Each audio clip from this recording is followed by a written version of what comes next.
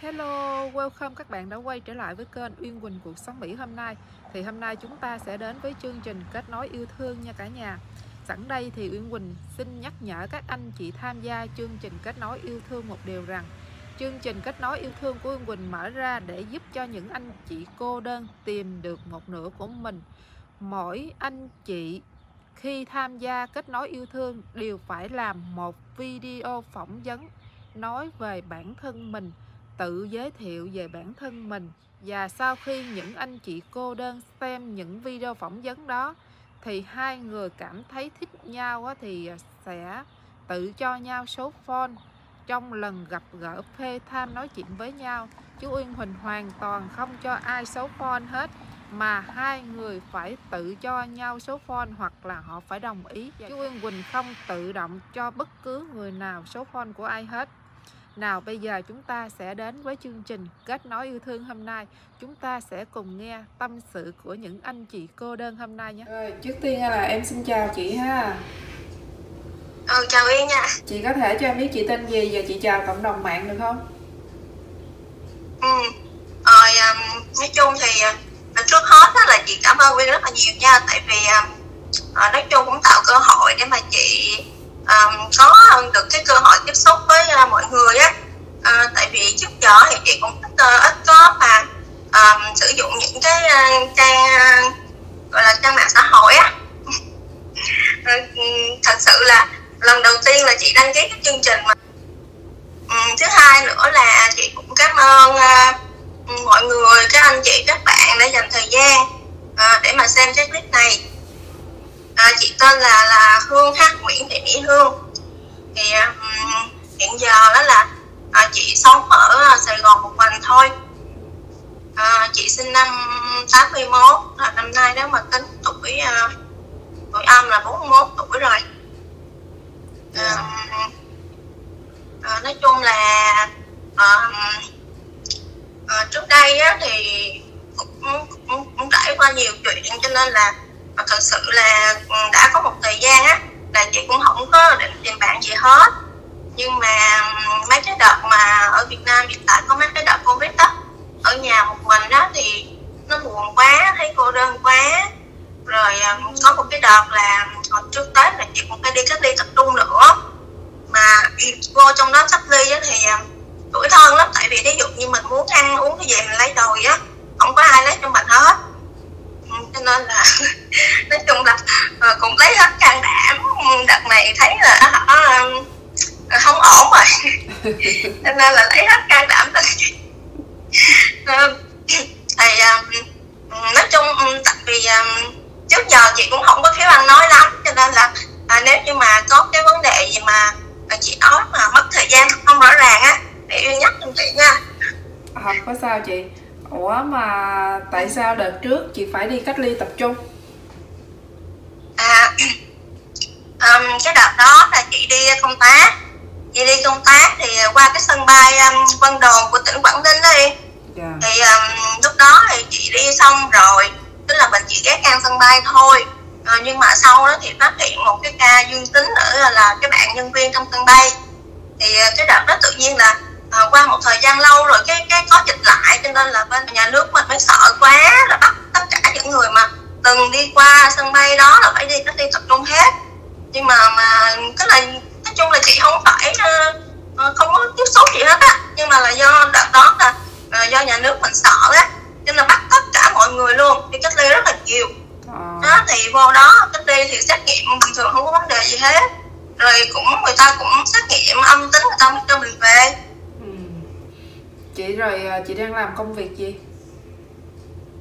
À, hiện tại là chị à, đang làm cho công ty uh, Bureau Veritas thì công ty đó là uh, gốc ở Mỹ á, chi nhánh ở Sài Gòn. Thì um, công ty này á, thì chị giới thiệu sơ xíu á. Uh, tức là chuyên về uh, testing nè là xét nghiệm á, xét nghiệm uh, sản phẩm. Rồi inspection inspection là mình kiểm trước khi xuất hàng á, kiểm xuất xuất khi xuất hàng rồi một nhóm nữa là nhóm audit là đánh giá hệ thống. Thì à, chị làm bên nhóm đánh giá hệ thống từ 2013 cũng 7 8 năm rồi. Dạ. Rồi à, tình trạng hôn nhân gia đình của chị như thế nào? Thì à, chị à, chưa nói chung là chưa có hôn lần nào à, nói ra thì chắc mọi người chị chỉ biết là mọi người cũng thắc mắc đó là sao lớp tuổi vậy mình chưa kết hôn. Nhưng mà có một chút vấn đề á là cái ở trong nhà chị á ừ. là um, giống như phụ nữ á là phải gánh vác nhiều quá. Um, từ thời bà ngoại chị á là à, lấy chồng năm 17, 18 gì đó rồi sinh được một đứa con rồi không có ở được bên không không làm dâu nổi á thì lại ôm con về nhà mẹ. Nhà mẹ thì thành ra là mẹ của chị là con một. Mẹ chị là con một rồi đó khi mà mẹ chị lấy chồng á thì ba chị cũng ở rễ luôn. Ba cũng ở rễ thì thì ba cũng uh, phụ uh, cho bà ngoại thôi. Cho nên là coi như là ở nhà là bà ngoại chị với mẹ chị là gánh vác hết luôn đó. Nếu mà mình nói một cách um, nó nó hơi bình thường một chút á giống như mẹ chị nuôi chồng luôn á. Cái này mình không phải là mình mình mình đã cách gì thì mỗi người có một cách sống khác nhau. Nhưng mà chị thì cái quan điểm của chị không phải như vậy. Nói chung quan điểm của chị lúc nào chị cũng phải lùi sau lưng chồng hết á. Chị ừ. không có muốn tránh bác như vậy. Đó rồi tới um, tới chị hai chị coi như mẹ chị sinh được hai đứa con gái chị với chị hai. Thì chị hai lấy chồng thì anh rể cũng vậy luôn. Anh rể cũng ở nhà sau khi cưới là anh rể nhà luôn. Không đi làm gì luôn à, chị? nói chung không cuộc sống thì không phải là cuộc sống không phải là nó khó khăn thiếu thốn nhưng mà uh, cái quan điểm sống của chị là chị không có muốn như vậy chị không muốn một người phụ nữ phải phải đứng ra gánh vác đồ này nọ đó ừ. cho nên là lúc nào trong lòng chị cũng có cái tâm lý rất là sợ là, là họ không biết là chồng mình về có bắt chước như vậy không cho nên là nó cũng là một cái rào cản á yeah.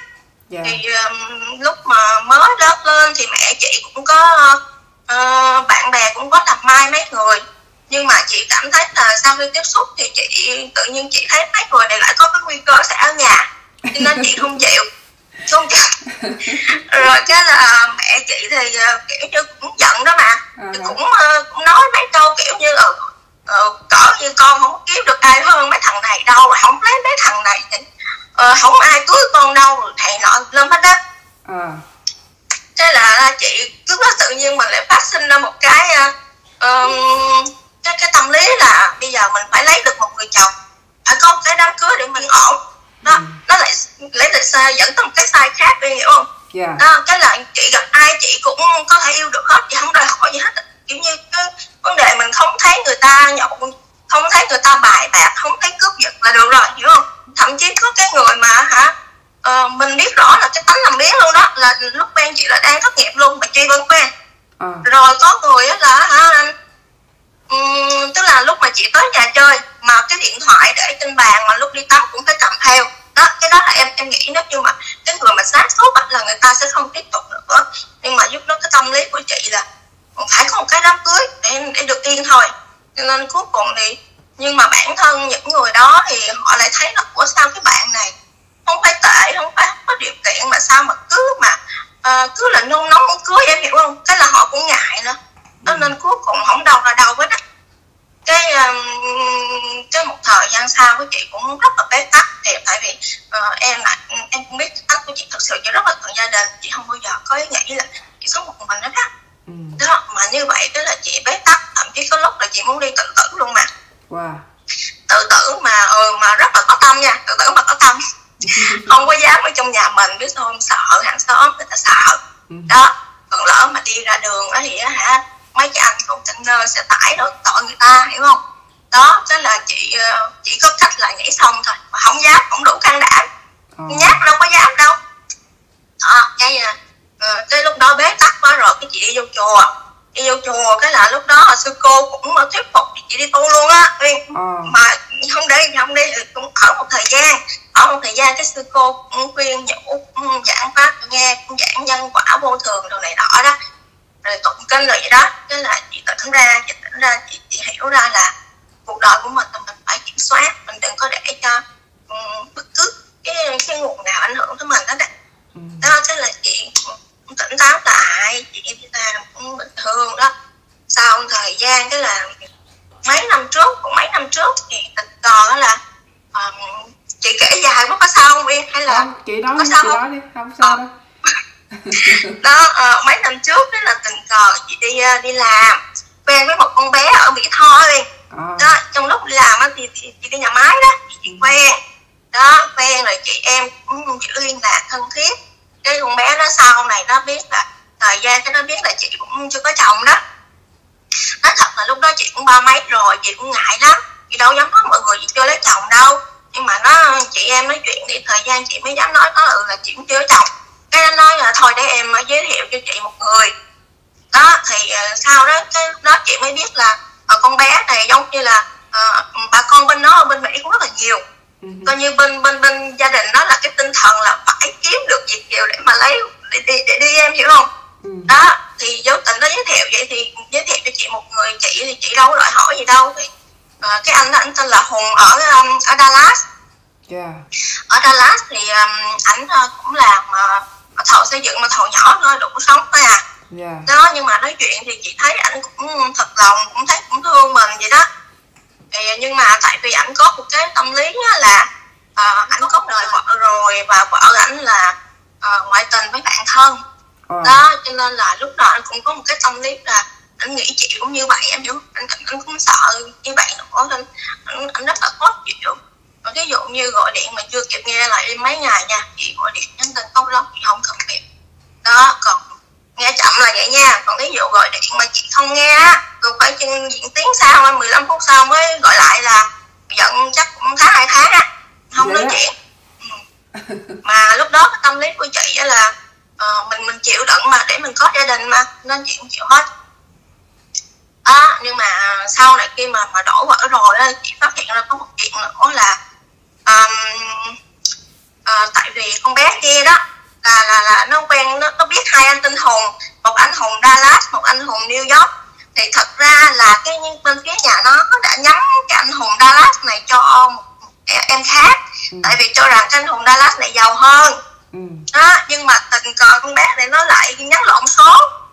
À, nhắn lộn số cuối cùng phát hiện ra là ờ, lúc đó nó cũng hỏi chị luôn. Thì chị đâu có phân biệt giàu nghèo gì đâu. Lúc phát hiện ra chị cũng nói là "Ờ, thôi chị lỡ hứa với anh này rồi. Bây giờ tự nhiên là bỏ anh này với anh kia thì tội nghiệp người ta. Chứ thật sự chị không nghĩ giàu có gì hết á. Đó nhưng mà cuối cùng thì nhà bên kia phát hiện ra thì họ lại tiếp họ lại suốt con bé này phá. Chọc qua chọc lại và trong khi cái tình cảnh là anh này hay giận nữa. Ừ. đó cũng chọc qua chọc lại cuối cùng hai bên ảnh cứ giận hoài giận hoài.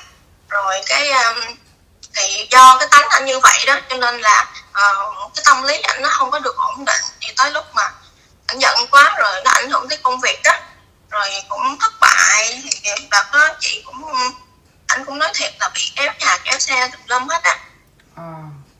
là cái lúc đó là chị nói luôn mà thật sự là chị không có giàu nhưng mà cái này chị cũng nói thật là cái người mình đã xác định là, là kết hôn á thì Ừ. lúc đó chị nói thẳng luôn là anh đi anh cứ nhắn số tài khoản đi là là chị gửi tiền cho mua vé máy bay về á chị nói thật luôn á Ừ. đó ờ, về thì ở nhà chị rồi ăn uống thì đâu có bao nhiêu đâu mà anh quyết định không về anh cứ nói là giống như là ừ, sĩ diện á mà đàn ông thì không có nhận tiền của phụ nữ đâu vậy đó Ừ. rồi nó cứ gì nhằn gì bằng hoài như vậy rồi ờ, thậm chí có lúc là anh anh tắt điện thoại luôn rồi Ừ. cái chị cũng cố gắng liên lạc lại được rồi cũng nói chuyện được mấy câu. Rồi ảnh cũng nhất định cũng không có chịu về. Chị cũng vẫn nhắc lại là thôi cứ gửi số tài khoản mua vé máy bay mà về. Rồi đó rồi tới cái đợt bùng covid đó là đâu có về được nữa tỉnh phải cũng nói chuyện được uh, mấy câu vậy thôi. Thì uh, nhưng mà um, khoảng một năm nay là chị không liên lạc được nữa rồi. Uh, thậm chí chị nhờ bạn bè gọi luôn đó mà nó vào quảng báo là uh, để lại tin nhắn của học lại ấy. em. Ừ cho nên là bây giờ chị cũng nói chung chắc người ta cũng không để tới mình nữa rồi. Mới biến mất lâu như vậy.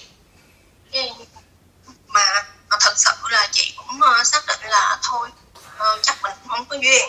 Nên chị định ở vậy luôn á thật sự là vậy. Nhưng mà lúc đầu chị cũng có nói đó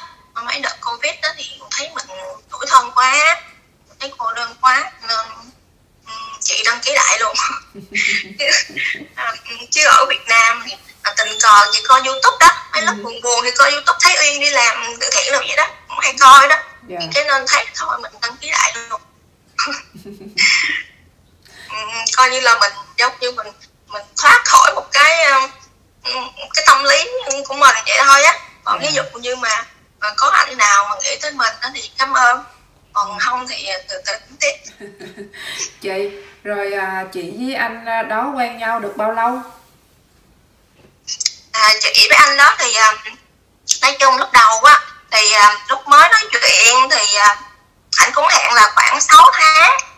6 tháng à, tức là chị à, bắt đầu nói chuyện với anh là cuối năm à, 2016 đó ừ. cuối năm 2016 lận rồi anh mới hẹn là tháng 6 năm 2017 là anh về. Ừ.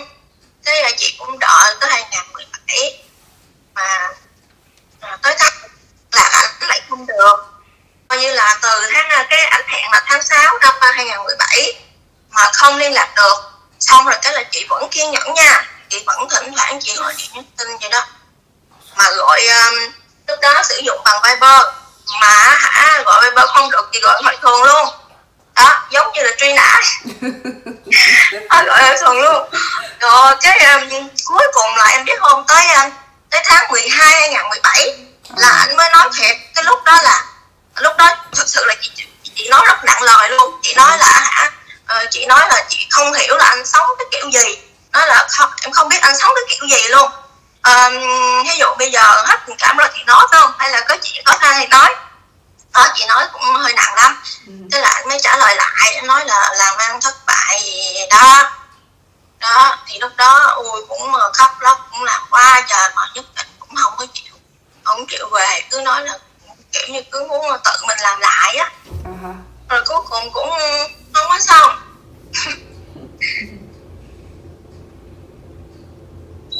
cái lúc ờ, cái lúc mà quen ảnh là chị cũng tưởng đâu là coi như mình cũng đã tìm được một nửa rồi đó. Cái tới giờ luôn. Là cũng uh, mấy năm luôn hả chị ha? Hai nghìn ờ, hai nghìn ừ, mấy năm thì bởi vì chị mới nói nói với uyên đó chị nói thiệt có lúc chứ có lúc đó chị nói là hả chị xác định là chị ốc mình luôn mà. Thôi ờ, ảnh không về thôi ở vậy luôn chứ bây giờ thấy cũng mệt mỏi quá rồi. Ừ, bao nhiêu lần thậm chí cái lần đó mình cũng xác định là uh, không có cần gì hết. Mình đã nói tới cái nút vậy mà mình sẵn sàng gửi tiền cho về cũng không về đó thì chị nói giờ cái số mặt chắc uh, không được gì rồi quá. Đó cái uh, nhưng mà từ cái đợt covid này ở nhà thường rồi cô đơn rồi thấy cũng không ổn nên là mới mới đăng ký lại. Chị là hồi lúc mà chị quen với ảnh là ảnh chưa về gặp chị lần nào luôn á hả? Ờ chưa về luôn đó. Chưa ờ. về luôn. Nhưng mà uh, cái này là chị cũng không phải là do chị hy vọng mà chị nói nhưng mà uh, sau cái đợt mà ảnh ảnh bị kéo nhà kéo xe đó ừ. thì uh, mấy lúc mà thỉnh thoảng mà uh, có liên lạc được á thì ảnh vẫn nói ảnh vẫn nói là uh, ảnh cũng đang làm việc ảnh sẽ cố gắng về nói chung vẫn hứa hẹn nhưng mà kiểu như um, nói thật là chị cũng không rõ cuộc sống của nó như thế nào. Và tiền bạc ảnh có mượn được của bạn bè người thân hay không mình không biết. Tại vì uh, bản thân ảnh ví dụ như uh, thậm chí cái lúc mà vui vẻ cũng gọi là vợ chồng mà mà thậm chí bản thân chị chị đã nói là uh, nhắn số tài khoản để chị vừa biết là uh, mua vé máy bay về nghỉ ngơi cho tỉnh táo lại đó rồi mình hãy bắt đầu làm lại. Mà cũng không chịu luôn. Thì những cái chuyện cá nhân của ảnh đâu có tâm sự với chị đâu dụ ảnh uh, có vay tiền được của người nào hay gia đình thế nào anh cũng không có chia sẻ nhiều. Đó, nhưng mà ừ, cái lúc nói chuyện biết được tánh người cũng không phải là tệ không phải là là ăn chơi cờ bạc gì. Chị rồi cô bạn của chị á rồi à, cô bé bạn của chị á rồi cô đó lấy chồng chưa? À cái này á thì à, biết sao không? Thì cái lúc mà uh, lúc mà chị phát hiện ra đó là con bé này nó cũng muốn phá tại vì cái đó cũng không trách nó được tại vì em biết không là uh, cái uh, tức là cái chị ở bên mỹ á thì là cái chị đó cũng đang tìm tìm tìm chồng cho nó cho nên là chị nói cái gì nó phải nghe theo em hiểu không ừ. tại mình không phải nói xấu người ta nhưng mà ai cũng phải bảo vệ cái lợi ích của mình đó à. đó thì chị cái chị nói cái gì nó nghe theo cái đó cho nên là sau đó thì chị thấy thôi con bé này không ổn rồi là chị cũng không có liên lạc nữa à. ừ. Ừ, không có liên lạc nữa thì uh, thì là vậy đó ừ. chị à, quá chân thành luôn á thương quá chân thành luôn mà ừ. nói chị á thì à, quá chân thành luôn với à, với người yêu luôn á kêu đi về đi chị mua vé máy bay cho về Ừ. luôn thì ừm, mấy bạn chị nói sao biết không chị à, chung thủy quá mức cần thiết. Nói vậy. Tại vì nói chung là um, thí dụ như bây giờ mà ảnh ảnh, khá giả hoặc là ảnh có người khác rồi thì không nói.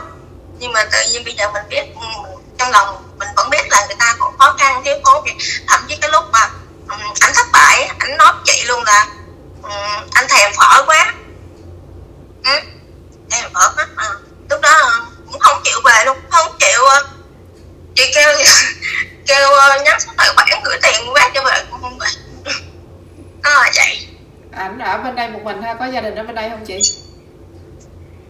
Lúc mà chị quen thì chị ờ, chị biết là cả gia đình anh đi qua bên bên bên mỹ hết rồi.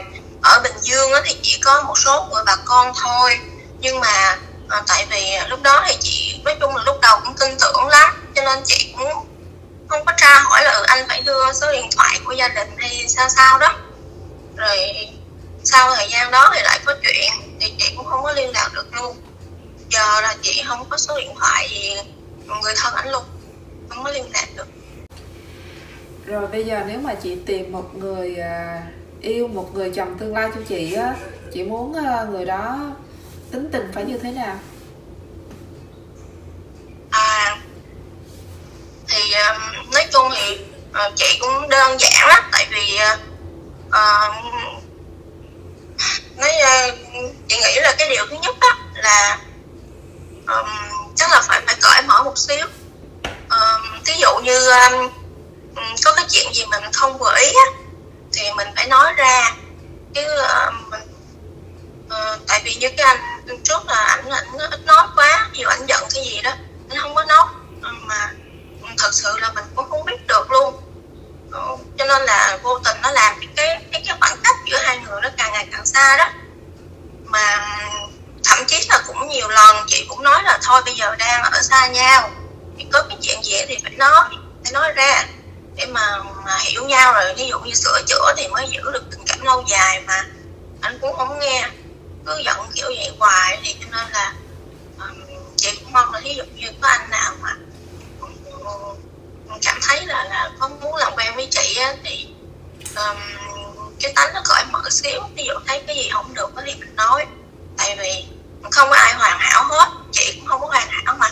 Ví dụ như thấy chị không được cái gì nói nói. Thì chị sửa nếu mà hợp lý thì mình sẵn sàng sửa. Đó, cái đó nó cởi mở xíu.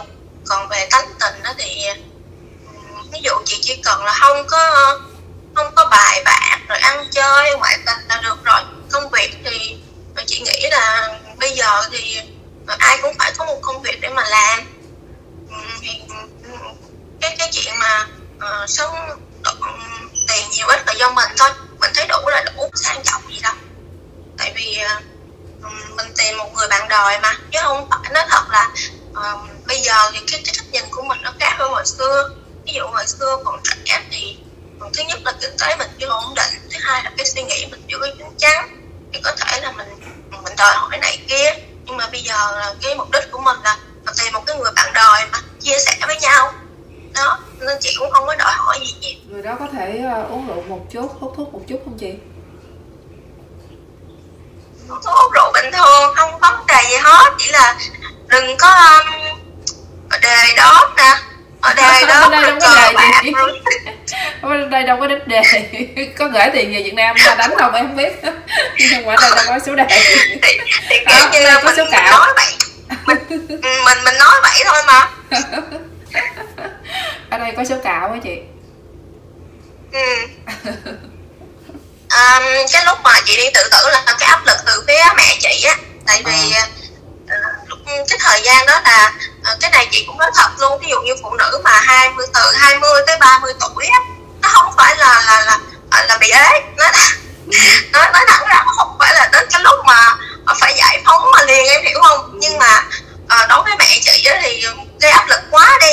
Ừ. áp lực quá chị không biết làm sao hết trong khi mẹ thì gây áp lực mà mà chị quen thì chị muốn cưới liền thì họ không cưới. Họ thấy À. mình có cái vấn đề gì đó em hiểu không? À, ờ cái là bé đắt quá mà không biết làm sao không ai cứu mình hết. À, đó. Nhưng mà không có đủ can đảm.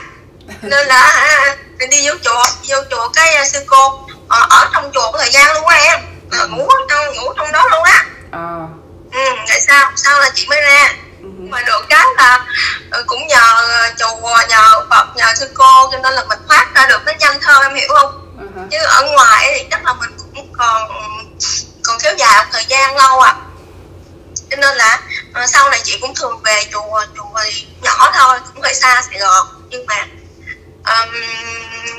ừ, bình thường có thời gian là chị về về chị uh, lại Phật tên là phong quả vậy đó. Chị rồi chị đang ở chung với cha gia đình của chị đó hả? Ừm, không em gia đình thì ở dưới uh, Long An. À, gia đình ở Long An còn chị ở đây có một mình thôi.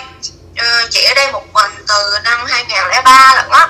À, ngã ba cho nên là ừm, ở một mình thì mình mình không có dựa vô gia đình được đó. Khi mình có chuyện không ai tâm sự gì hết. Nên là cái cảm giác cô đơn á nó nó hơn người ta nhiều lắm. Ừ. nhưng mà những cái lúc mà chị đi làm nói chung công việc của chị cũng cũng khá là vất vả đó. Dạ, Ờ, 5 giờ sáng là chị năm rưỡi là phải dậy chuẩn bị sáu rưỡi ra khỏi nhà rồi phải ờ, lên xe đi khoảng một tiếng rưỡi hai tiếng tới nhà máy đó, làm tới chiều, có khi là phải à, ở lại thêm mấy tiếng, trễ thêm nữa. Rồi cũng phải ngồi xe tiếng mấy hai tiếng về tới nhà. Cho nên là mặc dù nhiều lúc cũng thấy cô đơn thiệt, nhưng mà mấy cái lúc mà đi làm bận rộn này nọ thì mình có thể lướt qua được. Đó, thì lúc đầu chị có nói là do cái thời gian đợt này có mấy cái đợt covid đó, nên là cái thời gian rảnh nhiều. Đó, thì chị thấy lại cô đơn nhiều hơn nữa thấy thì cũng không ổn tại vì về già mình cũng phải có một cái người mình ờ, nương tựa nhau. Nên là chị mới ờ, thì tình cờ coi youtube của Yên đó. Thấy Dạ. chương trình này là chị đăng ký luôn đó. Chứ thật ra là ờ, ở Việt Nam cũng có nhiều chương trình trên TV rồi nọ đâu Yên mà chị không có đăng ký. Chị nhưng mà chỗ chị á, là đi làm được tới đâu mà đi xa dữ vậy À, à thì cái công ty này á à, chị là công ty chuyên về à, cái audit audit là đánh giá hệ thống đó em thì thật ra chị không có lên văn phòng. À, tức là ví dụ như mỗi ngày đi buổi, buổi, chiều tối nè thì mấy bạn văn phòng á sẽ gửi cho chị cái lịch qua email là ngày mai chị sẽ đi đánh giá hệ thống ở nhà máy nào à, à, vị trí ở đâu này nọ vậy đó ha. Thì sáng mai sẽ có xe đón chị đi thôi chứ chị không lên văn phòng. À, là à, mỗi ngày thì mỗi, mỗi ngày một nhà máy khác nhau hết á đi khắp các tỉnh luôn. Bình À. dương rồi đồng nai miền tây cũng có tiền giang cần thơ thậm chí đi tới uh, kiên giang cà mau luôn. Công việc của chị cũng nên vui quá ha công việc của đi chị công việc của chị cũng vui hả? Đi suốt luôn à? Ờ, nói chung là, là đi nhiều gặp nhiều thì mình cũng ờ, cũng có cái vui nhưng mà cũng rất là mệt nói chung là nữ mà làm cái việc này là rất là mệt. À, tại vì phải đi nhiều quá đi nhiều quá rồi à, cho nên là bây giờ chị thấy là nhiều chị á, nhiều chị trên youtube của yên cũng nói là thích đi du lịch đâu vậy đó. Nhưng mà chị không. Cho tiền chị cũng không đi nữa tại vì bình thường á mình mình đi nhiều quá rồi mình mệt lắm luôn á. À, Chứ dạ, ví dụ như mà sao? Nếu mà, mà may mắn mà sau này có bạn á. À, mà mà bạn à, muốn à, muốn đi thì mình đi với bạn thôi. Chứ mà kiểu mà đi đi cho biết đi nước này nước kia chỗ này chỗ kia là chị không đi. À. rồi chị đi đi làm nhiều như vậy á đi do giống như đi khắp khắp Việt Nam vậy đó. Rồi chị có đi du lịch ở nước ngoài không? Um, thì à, nói chung là chị là không đi du lịch rồi nha. Chỉ có à, cái lúc trước đây á trước trước cái công ty BB này là chị có làm cho bên uh, buyer bên khách hàng cái nhãn hàng mà uh, Carter với Oxford cái hàng à, con nít á. Ừ. không biết uh, Uyên bên đó Uyên có mua cái hiệu đó không? Nhưng mà lúc đó chị làm cho làm QA QA cho họ ở Việt Nam đó. Ừ. thì um, à, chị có đi à, đi công tác mấy nước ở gần đây thôi nè.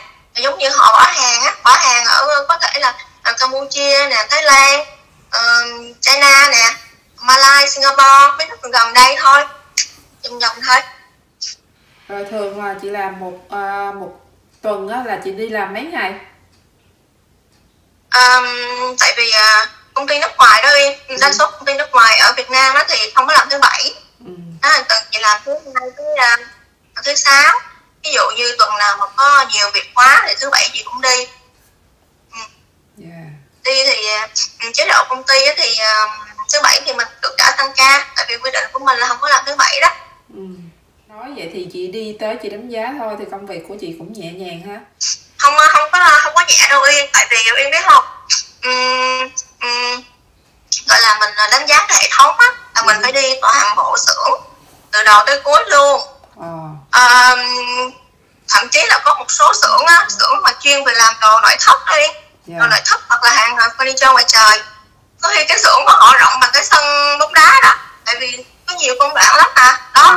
là chị phải đi hết luôn. Từ à. lúc mà họ nhập gỗ nhập gỗ đầu vào nhập sơn đầu vào nhập linh kiện đầu vào đó là kiểm tra. Xem họ có giấy tờ đầy đủ không có kiểm tra chất lượng đầu vào không báo cáo thế nào. Rồi dụng cụ đầy đủ nhiều lắm. Rồi trong lúc đó là mình vừa chụp hình vừa coi tài liệu vừa phỏng vấn công nhân nữa coi người ta biết cách làm việc hay không biết cách ghi báo cáo không gì đó bộ luôn. Từ đầu vào tới những cái công đoạn tới cái lúc mà đóng thùng xuất lên trong luôn. À. đó là đi rất là nhiều.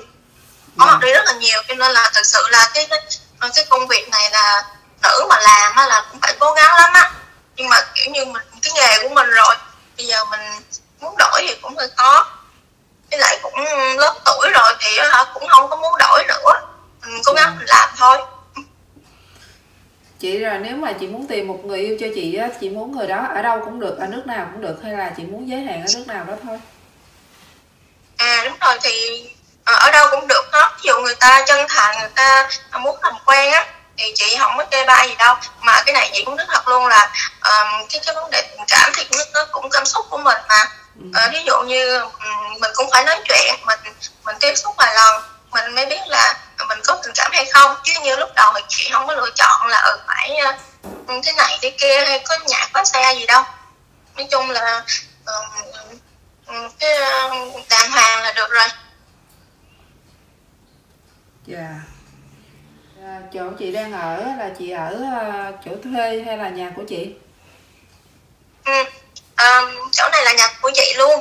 Nhà thì um, nhà ở vùng ven thôi, nó, nó không có mắc giá cũng rẻ à, ở vùng ven. Thì um, hồi xưa đó là um, ba mẹ chị mua, mua là cái dạng mà nhà người ta xây tạm bỡ rồi biết không? Xây tạm bỡ rồi tường cũng của người ta hai bên hai bên tường của người ta rồi chỉ có hai cái vách phía trước phía sau thì đó thì ở tạm rồi sau này chị đi làm có tiền thì chị mới mới làm lại sau này chị mới làm cái sổ hồng á chứ hồi xưa là giấy tay á em biết không ừ. vậy hả chắc mua hồi lâu lúc lâu lắm rồi hả chị ờ, ở chỗ này là mua từ năm tự nhiên mà mất tiêu ta. Ờ, hai lẻ ba. Hai lẻ ba tới giờ đó. Ừ. Cha mẹ chị cũng uh, có mắt nhìn xa. Nhờ đấy là chị ở đây chị đi làm rất là thuận tiện. À, thì uh, nói chung là hồi xưa ở quê nếu không thì nếu mà đã cho con đi học á ừ. thì, thì ai cũng muốn là là uh, cũng tìm được việc ở Sài Gòn rồi vậy đó cho nó đi lên tí xíu đó thì, ừ. thì lúc đó thì lúc mà chị ra trường thì cũng cố gắng mua được cái nhà xưa tại nhà tại lắm sau này chị mới xây lại uh, nhà chị phụ nữ là gánh vác nhưng mà cũng không đến nỗi là là khó khăn thiếu thốn em hiểu không ừ. nhưng mà cái này chị cũng giải thích luôn là hả tại vì có thể là nhiều anh nghĩ là ờ, nhiều khi gia đình mình vậy á chị phải ờ, lo chu cấp được nhiều á thì không có. Do cái quan điểm của chị thôi là lúc nào chị cũng đứng phải đứng sau chồng ừ. chứ mà như nhà chị như mẹ chị với chị hai chị cũng không phải là khó khăn mà chị phải uh, chu cấp. Cái này chị cũng nói thêm vì nhiều khi có mấy anh cũng ngại á ừ. và không có. Mình chỉ lo mình thôi Ok, em rất là vui nói chuyện với chị hôm nay ha. Em hy vọng là sau video này sẽ tìm cho chị một người yêu thương chị thật lòng ha. Để cho chị không còn cảm giác cô đơn nữa. Chị có lời nào chào khán giả không? Rồi, um, thì uh, thật sự là hôm nay trò chuyện với với Uyên chị cũng rất là vui tại vì có một số chuyện á là trước đây chị cũng ngại chị không có nói với ai hết á thậm chí chị người mà chị tìm hiểu á tại chị sợ người ta cũng cũng, cũng ngại cái hoàn cảnh của mình á nên là hôm nay giống như chị um, chị chị vừa qua được một cái rào cản nào đó chị cũng rất là vui. Cảm ơn Nguyên rất là nhiều.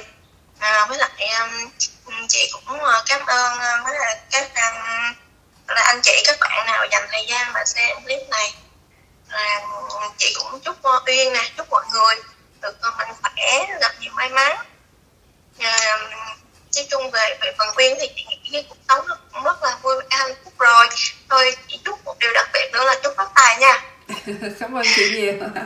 Dạ ba chị ha. Dạ. cảm ơn các bạn đã xem video của mình. Nếu các bạn cảm thấy thích vui lòng bấm like share and subscribe kênh của mình nhé. Xin chào và hẹn gặp lại